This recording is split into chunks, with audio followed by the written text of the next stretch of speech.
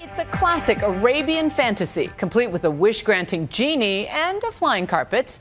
Tonight, we're taking you behind the scenes of one of our parent company Disney's biggest smash hits. Aladdin, the lovable thief, is stealing the show in a brand new Broadway musical.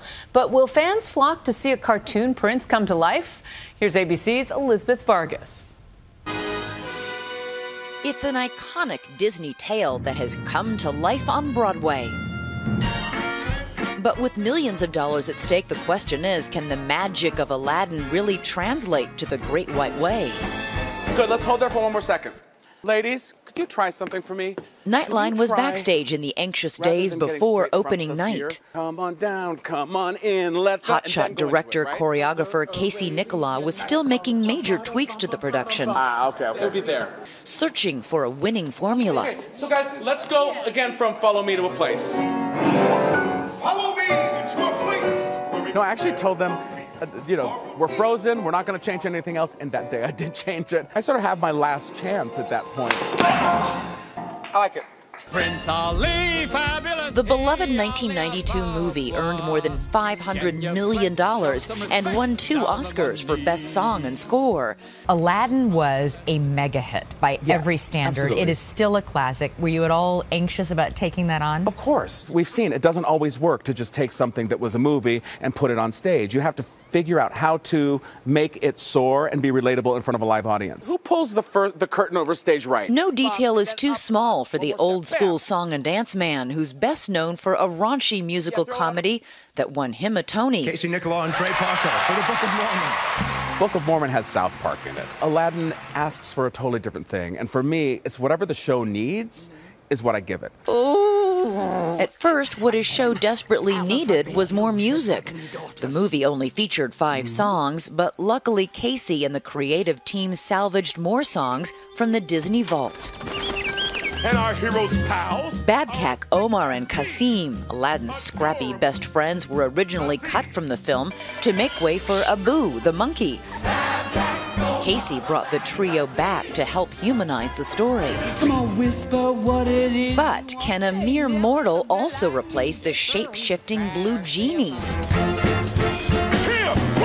James Iglehart, an exuberant rising star, plays the part with a manic, physically improbable gusto. I have to be honest, I was exhausted watching you. If you saw a skinny dude jumping around, you wouldn't really be impressed, would you? No, it's true. But if you see a brother who's like damn near 300 pounds, you go, oh my God, that's amazing! Even people look fabulous! Iglehart is a childhood fan of Aladdin who always dreamed of playing the genie. This is the biggest thing that's ever happened in my career. So big that when the directors called to offer him the life changing part, he had a camera rolling for posterity. It is finally yours. What? Yes, I'm gonna be the genie on Broadway. That is so awesome! Now, what are you squawking about? On set, he was starstruck to learn that his co star, who plays Jafar, also voiced the role in the 1992 movie. Ah! I'll teach you some respect.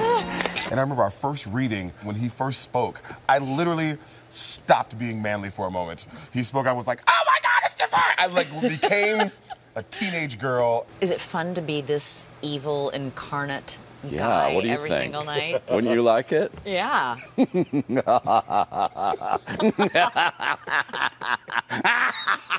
a little early. Usually it happens after 8 p.m. It gets me every time. But when it came to Aladdin and Jasmine, Casey deviated again from the movie, casting a sexier, slightly older pair. Oh. But don't worry, they still fall in love on a magic carpet. You can't cut that out of the story. No, you can't. I mean, you can't deliver a mattress on a stick, for sure. As for how it flies, the Aladdin team would not divulge trade secrets. It's super magical. Mm -hmm. um, people are watching it and they say, "How do they? How are they doing that?" And their faces are like this. Here's wow. wardrobe. And it's not uh, just the cast that shines, says Casey. When the tap dancers come out, you just cannot believe how much sparkle comes off of them. Backstage, we get a sense of what it takes to run this ambitious show. Do I get extra pay for this?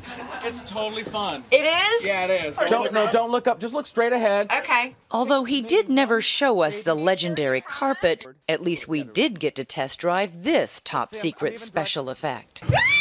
I know, right? It's so Oh my God! Come on, Phyllis. Yeah, you pulled out every single stop. Pretty much everyone. We were Ellie. pretty shameless. It's a lot of low comedy with very elegant costumes and sets. And you know? with perhaps a slightly raised eyebrow. Mm-hmm. Absolutely. It's like, you know what? We're going to give this to you. It's a fun night and it's a fable, and here it all is. For Nightline, I'm Elizabeth Vargas on Broadway. For more of the magic, you can check out Aladdin the musical on Broadway.